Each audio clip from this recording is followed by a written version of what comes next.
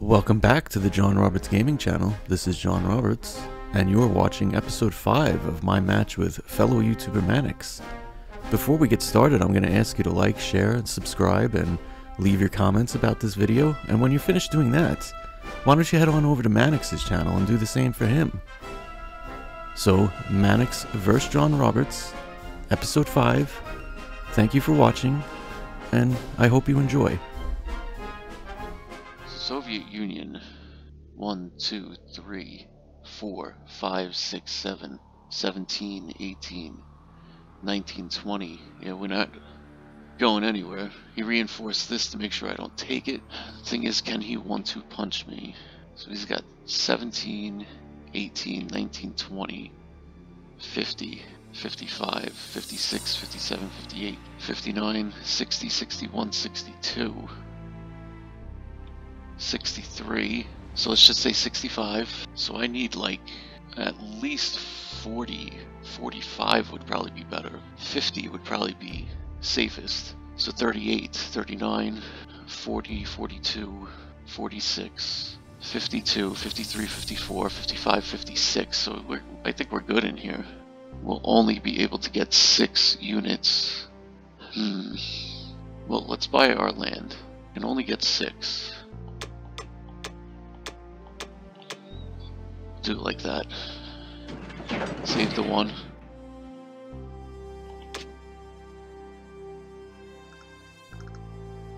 I could save the one, I could repair the one. Uh, for him, taking this, it's no different. Either he gets the one or he gets repaired. I, I see either way. For me, it uh, gives me more flexibility to hold onto it for next round, because I'll probably still have Russia next round. I could build an artillery and use up all my money, but I'd rather save the IPC. So let's just experiment. Let's let's just see.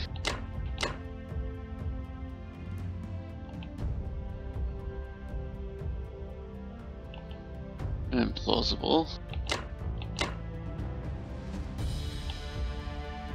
Still implausible.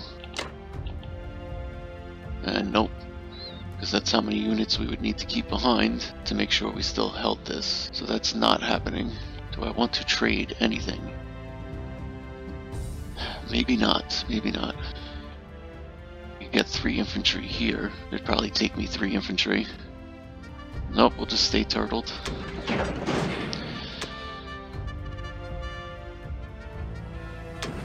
No combat, no non-combat. Just put down our six units and see what Germany has in store for us.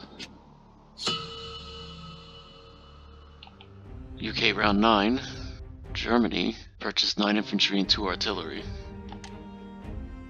France and Egypt with tank blitz. Uh, Northwest Europe didn't lose any units, and Southern Europe lost 4 units there.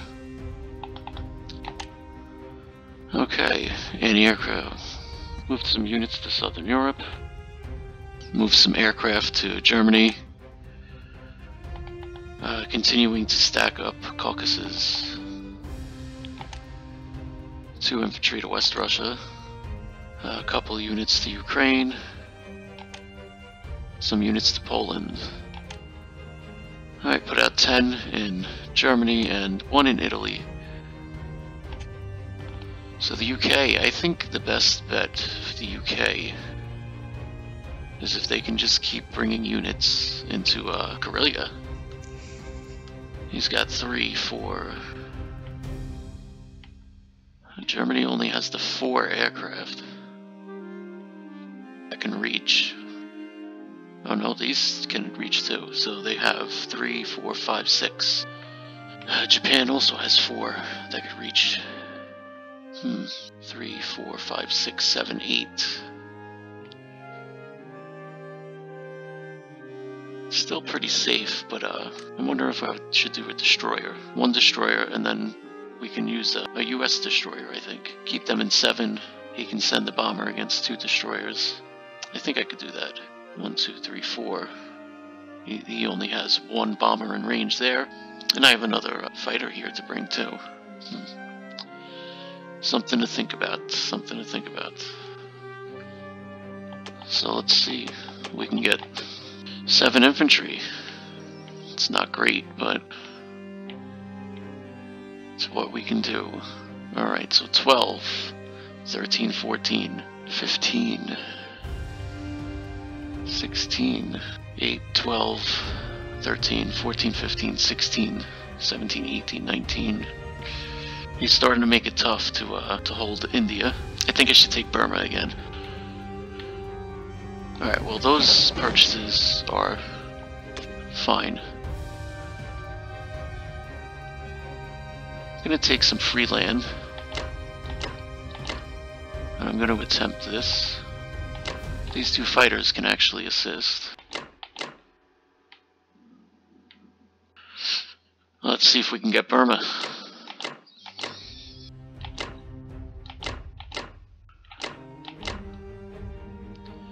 Okay, so two infantry and artillery and two fighters against three in Burma. I hope that works out. It should. Alright. May the dice gods be with us.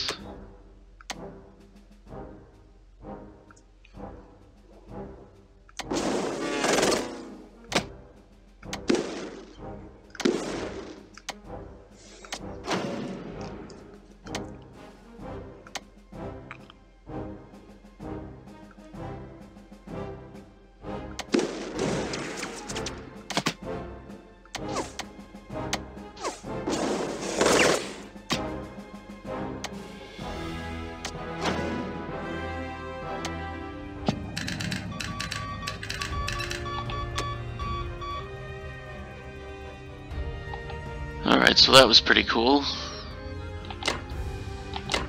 Send the fighters back to C-Zone 5. Where are my transports? Three transports. For some reason I thought I had four transports. Alright, so we might as well take you as well. I'll put these two infantry in Archangel. Perhaps we can get one of these units into Moscow to help defend that. Sub looks good here. Need to land our fighters in India. I got 6, 7, 8, 9, 10, 11, 12, 13, 14, 15, 16. So it should hold. It should hold. We double and triple check. These are definitely not going anywhere. We used our transports already. This infantry stays here. These units stay here. Sub stays put. That's everybody.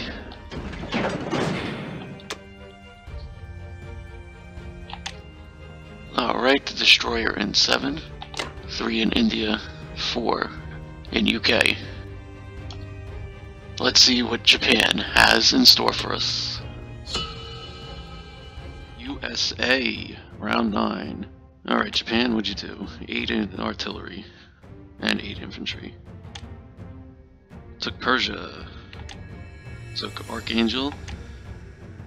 And took Burma. Lost an infantry in Archangel and lost two infantry in Burma. Okay. Continued to stack up Caucasus. I counted this, and with the uh, with a one-two punch, it, I should be able to hold this. This should hold. He has a total of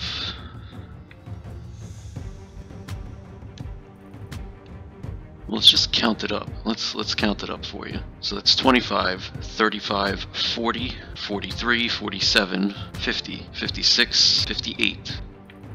Here we have 44, 45, 46, 47, 48, 49, 50, 51, 52, 53, 54, 60, 61, 62, and we will find where, how, and where we can reinforce. Sent an infantry to Vologda, an infantry to Novosibirsk, an infantry to Kazakh. Alright, has a stack here in Xinjiang. Six infantry to Venki, nine infantry to Szechuan, and his transports units and aircraft over to Yunnan. Move this cruiser down to Zone 30 curious. And he got a transport, I guess, to pick up this uh, lost unit here. submarine to Sea Zone 51, battleship and transport, Sea Zone 50. Alright, four artilleries in Caucasus, two artilleries in Kwangtung, two artilleries in Manchuria, eight infantry in Japan. So the United States. So I was really contemplating this. I don't think I'm going to do it, but I was really contemplating this. Doing a can opener in Kazakh and Persia with the United States, and then sending a Soviet tank down into Persia to be able to hold India for at least one more round. And then I thought to myself, that's a little crazy to risk two fighters, maybe more, and get rid of a Soviet tank just to hold India one more round. Because he has so many tanks here, either German or Japanese, and so many fighters, I can't hold India very much longer. So what I'm probably going to do is split this Indian force. Well, I'm going to take Persia lightly, and then I'll put everything I can here, and these uh, two fighters will skedaddle over to Moscow. That is for UK round 10. This is USA round 9, so let's take care of that. Two fighters will be going, two transports going back, and we have 5, 6, 7, 8, 9, 10. What do we have? We have 5, 6, 7, 8, 9, 10, 11 transports? 12 transports? What does he have here? One, two, three, four. Alright, let's get, uh, do we want a bomber? Maybe I want a bomber. And I want one more transport. I will buy two artillery to help load that transport. And we will purchase two fighters, and we will save five IPCs. Excellent buy. Alright, do we take back Honolulu? He'll be able to come with one, two, three. One, two, three. I'll have two there, so you know what? Let's do it. We'll take two infantry, and we will take back Honolulu.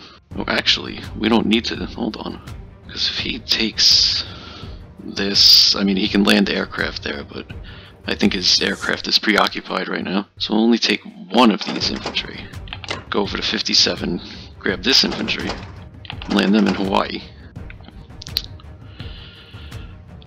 Should have built another sub. Hmm. Should have built another sub. Shoulda, coulda. So now I'm thinking of just taking France. Let's do both. Let's do both. Let's let's see here. We only need two of you. One infantry and one artillery for you. You will take Italy.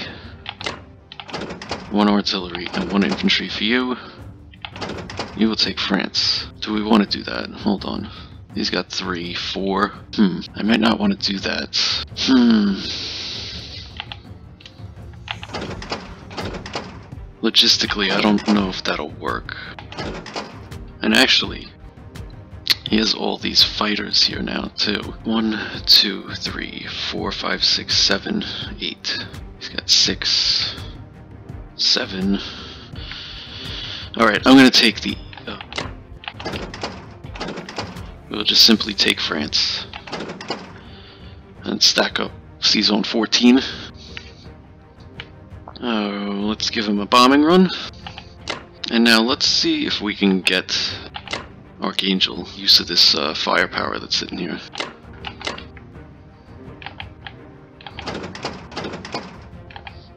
I think that's as good as it's gonna get. May the dice gods be with us.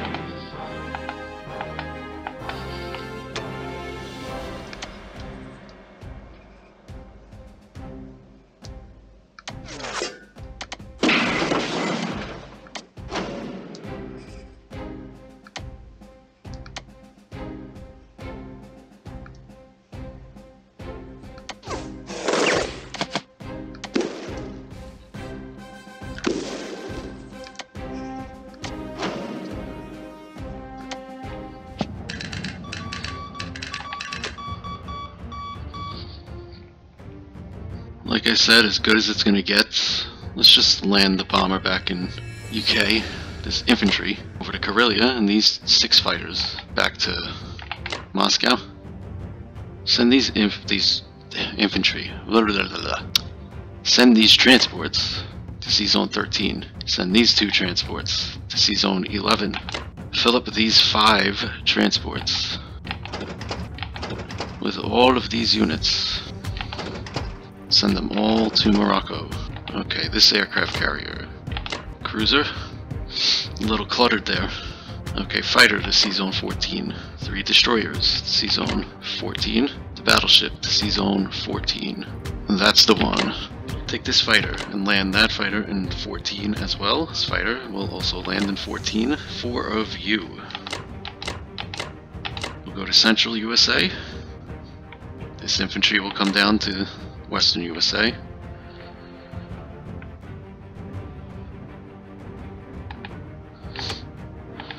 Oh. The fighter from Eastern USA is supposed to land in 13. That's what happened there. Okay. We are not moving you. We are not moving you. We are not moving you. We already moved the transports. We already moved these. Done, done, and done. Okay. So we'll mobilize our units. The bomber. The fighter. Oh, you know what? That's not where I want the bomber. I want the bomber in Western. I also want one fighter in Western. Then we'll put another fighter in Eastern. The transport. And the two artillery. Let's send it over to Soviet Union. Soviet Union. Let's count it all over again. 25, 35, 40, 46, 50, 56, 58, 59, 60, 61, 62. And here we have 44, 45, 46, 47, 48, 49, 50, 51, 52, 54, 60, 62. Hmm. So do we want to try to trade these two? We can't really buy many land units. Only three. We can save two IPCs. Alright, that's what we'll buy.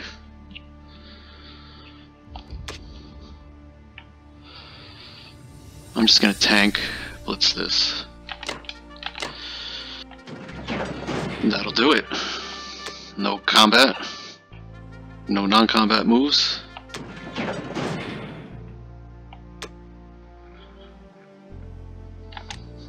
We just hope that this holds. It really should.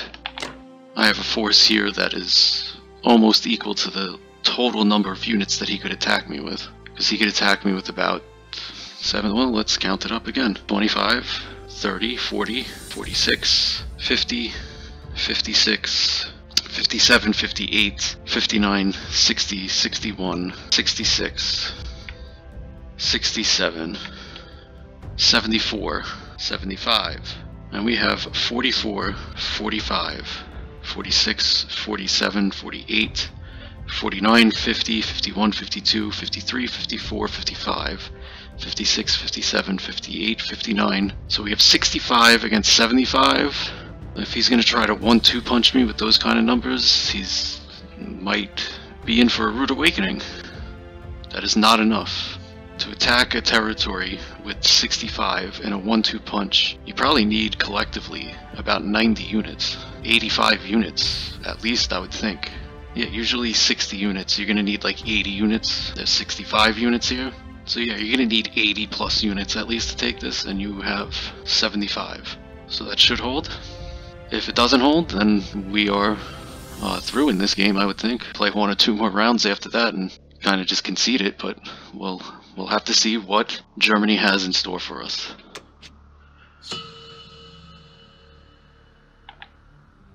United Kingdom, round 10. What did Germany have in store for us, I wonder? 12 infantry. He had to repair 5 points of damage. Took Archangel. Took back France. Lost 1 infantry there. 2 would have been nicer. Uh, Germany won and took the territory, destroyed 1 infantry, no units lost in Baltic states. And battle conducted in Belarusia, no units lost. Alright. Moved units to Caucasus. Moved units to Italy. Moved units to Berlin. Moved units to Ukraine. And moved some units to Poland. He mobilized 10 infantry to Germany and 2 to Italy. So the United Kingdom I'm pretty sure we have to abandon India. I'm just trying to figure out what's the best way to do that. Do we want to go into Burma? or do we want to go into Persia? Either way, I think I, I think I'm going to go into Burma. I know he's going to just take out whatever I put there. That's going to be around where he's putting units here rather than here, delaying him one more round. And I think that's the best I could do. If I put them here, I might take out a few of these units, but it's just not going to delay him as much as putting it here. I think. Let me know what you think. I would love to hear what you think on this because I uh, have been thinking about this for a while, and I'm hoping I'm making the right decision. Of course, the two fighters will go and help defend Moscow. And then up here, these four infantry, I think I'm going to use these four infantry to take Baltic, and then I think I'm going to take uh, Archangel for the Soviets, and then I'll try to see with the Americans if I could take West Russia. Hopefully I don't actually capture it with the Americans, but if I do, it's not the end of the world. I just would rather have the two IPCs for Russia. So we'll see how all that goes. So first, let's see. We have, I think, four transports. How many transports we have here? I can't see. I can't see the transports. Tray. So that's only six units that are required for that. Okay, six units. Let's recount this. One, two, three aircraft. Four, five aircraft the aircraft from Caucasus does not reach. So two, four, five aircraft can threaten uh, C-Zone 5. One, two, three, four, five, six, seven, eight. I feel that's pretty safe. And we have another destroyer here to beef it up too. That's right. I did that just to be extra sure. To make sure it's a guarantee. Alright, uh, let's just spend it all. Get the two infantry artillery. Five infantry, two artillery. Wait, we only need six. Hold on, we only need six. Maybe we should get a tank. No, you know what, I'm just, yeah, four, five, six. Save three. I'm good with that. I, I don't generally like buying tanks for transport. I just like the, uh, I think the infantry artillery combination is just more efficient and I'd get to hold on to a couple IPCs. UK's income is dwindling, so these three IPCs might make sure that I can produce five or six units uh, next round. So let's uh, move on to combat move. Take these four infantry from UK, all four of them, and land them in Baltic with the two cruiser bombardments. Four infantry and two cruiser bombardments. Hmm. How are we gonna do this? What does this even say it is? It says it's strong. Hmm. It's not really imperative that I take this. I really want to make sure I get Archangel for the Germans for the Germans, for the Soviets. Use this infantry. One of you. And then we could put three here and use one aircraft for each and just go on faith that we'll get these hits that we require here. This is not imperative. None of these are very imperative. None of these are game changing. They're meant to be a slowdown, a pain in the butt, and costly for the Germans. So that's the only purpose here. Right, so let's just do it. Everyone, everyone. And yes, we're gonna end up just handing in India to him. I don't have enough units, I didn't produce units, I, I just... What difference does it make, honestly? What am I gonna take out, one or two units to what I was able to leave in here? It's just... It's not worth it. Let's just take out Burma, force him to attack Burma, take these two fighters to defend Moscow, which is more important anyway. It's also one of the reasons I took Honolulu. I'm, I'm sure he's we're going to work on taking it back, but uh, we have to watch the count here. He has six. Well, he's not going to get this one, but he can get this one and this one. So that'll bring him up to eight. So we really have to watch. That's really why I invested in this. Also, I should have put one more submarine here. Now, if he tries to take this, he either has to come with just the sub, just the transport. That might not be enough. And he's got to think about putting these naval units here with the two fighters, the bomber, and uh, the sub and the destroyer. So I usually do not purchase for the Pacific, but I've been learning more and more that when you get into the mid game, late, late game, and Japan starts doing things like this, that you might actually want to purchase some units and use them here. Most of them actually are aircraft, which can easily be sent east, and the naval units, for that matter, could be sent east as well, theoretically. So That's my logic there.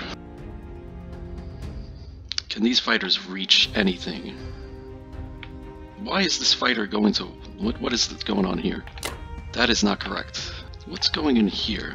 It's three on two, right? Yeah, no, we need the fighter here. That would have been a disaster. It's a good thing I checked that.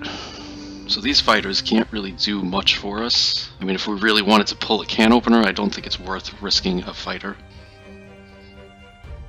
I'm wondering if maybe I should put the submarine here, just to make sure that he cannot take Honolulu without at least sending the battleship or the uh, aircraft carrier. That might be a good move. The submarine is invulnerable.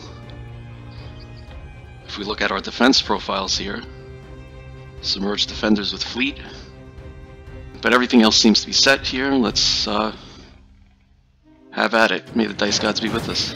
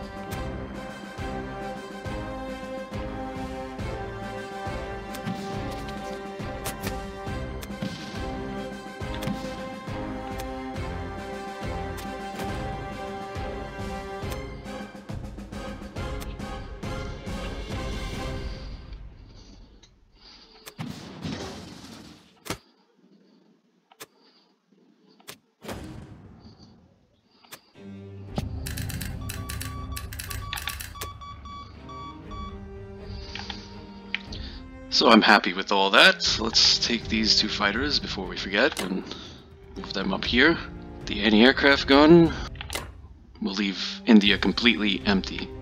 Just want to take out as many units as possible here. Want him to have to use as many units as possible there also. Alright, land uh, the aircraft back in Sea Zone 5. Back in Sea Zone 5. Well, you know what? We can afford to put one in Moscow. Shore up that defense since we have an overpowered number of units here. But you know what? No. I've got another US fighter to put in there. I just put two more in there. Let's let's just keep our sea zones safe. We'll put this sub here in 53.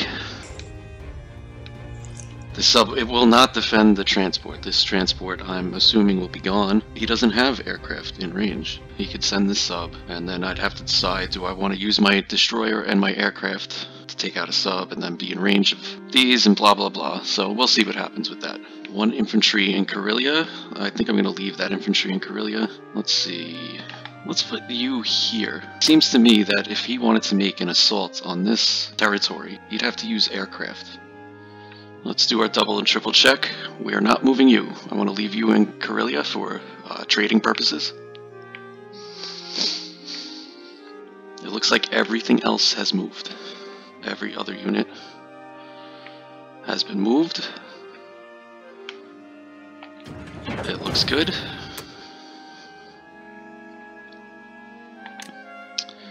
All of our units go in the UK. Okay, Japan, let's see what you got in store for us. Here we are at USA round 10. We'll have to review Japan round 10. 7 infantry, 9 artilleries. That's interesting that he uh, overboard artilleries. I guess he feels he has plenty of infantry. But he has artillery too. Hmm, that's interesting. Okay, so he took Japan. Uh, Japan. He took India with Japan. He took it lightly. He did not attack my Burma force.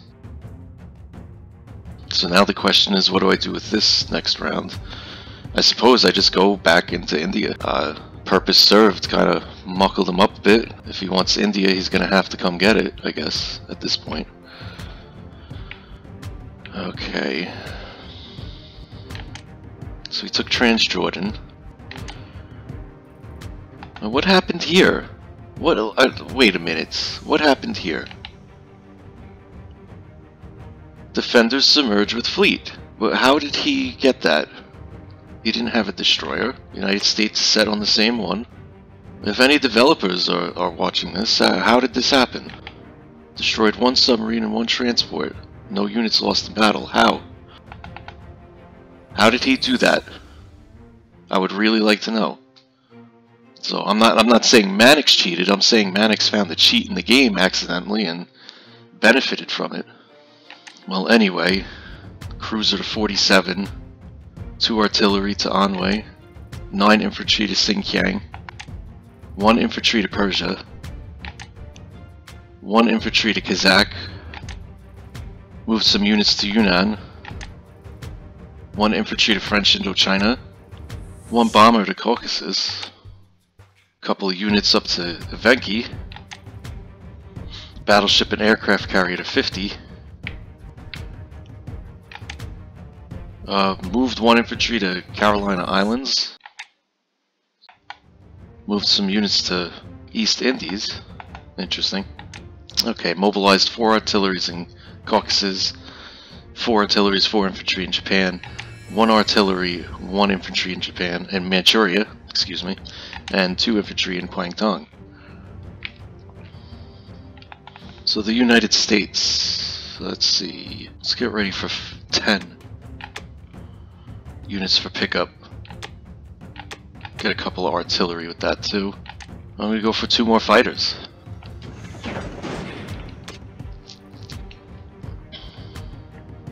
Okay, I'm going to take one of you artillery in Morocco and one of you infantry in Morocco. Okay, so we gotta take France back again. Just gonna use one artillery. Three infantry there. Use two more infantry. Okay, so the battleship and the fighters. We'll go on a bombing run. Hopefully that works out. Let's see about a can opener here in West Russia. I'm going to leave his sub alone. And here we got one, two, we got three, four, five, six, seven, eight. And he can hit with one, two, three, four. Okay, yeah, so we're still good there? Okay. So may the dice gods be with us.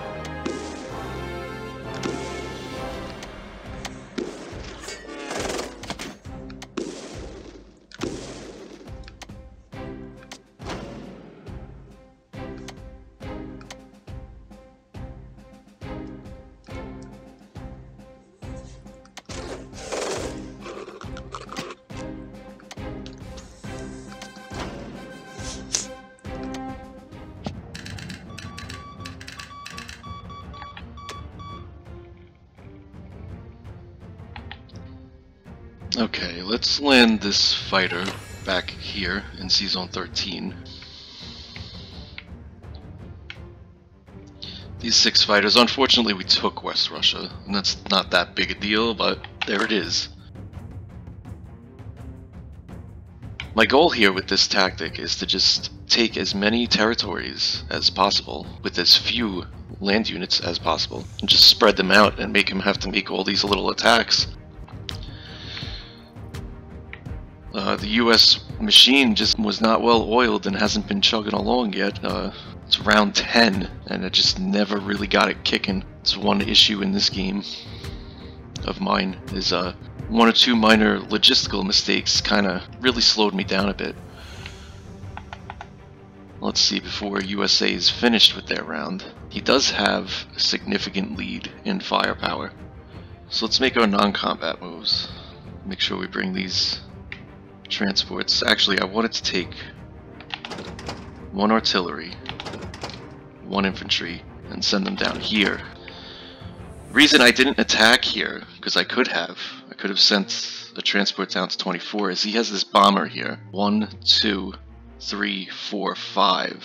Whereas from here, I can't count a route. One, two, three, four, five, six. I can't count a route where he can get to Sea Zone 23 and land safely.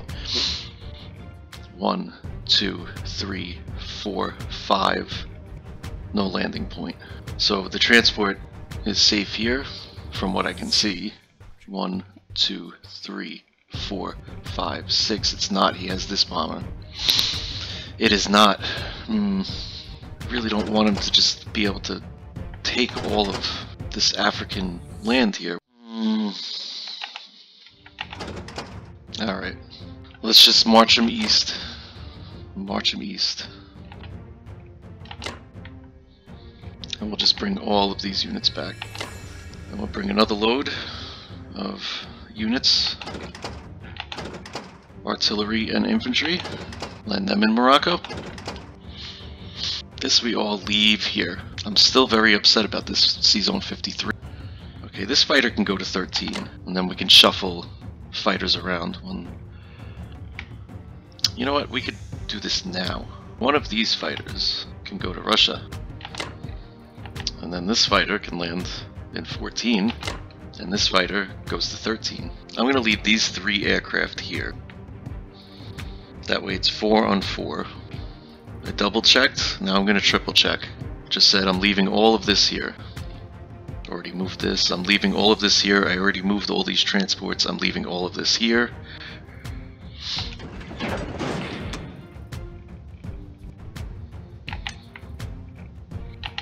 One more fighter in Western USA, one more fighter in Eastern USA. I promise I'm going to start bringing some of this aircraft east two fighters to Eastern USA, two artillery to Eastern USA, eight infantry to Eastern USA. Let's send it over to Soviet Union. So I hope you enjoyed episode 5 of Manix vs. John Roberts. Please remember to like, share, subscribe, and do all those wonderful things that you do. And please join us for episode 6 of Manix vs. John Roberts. And as always, thank you for watching.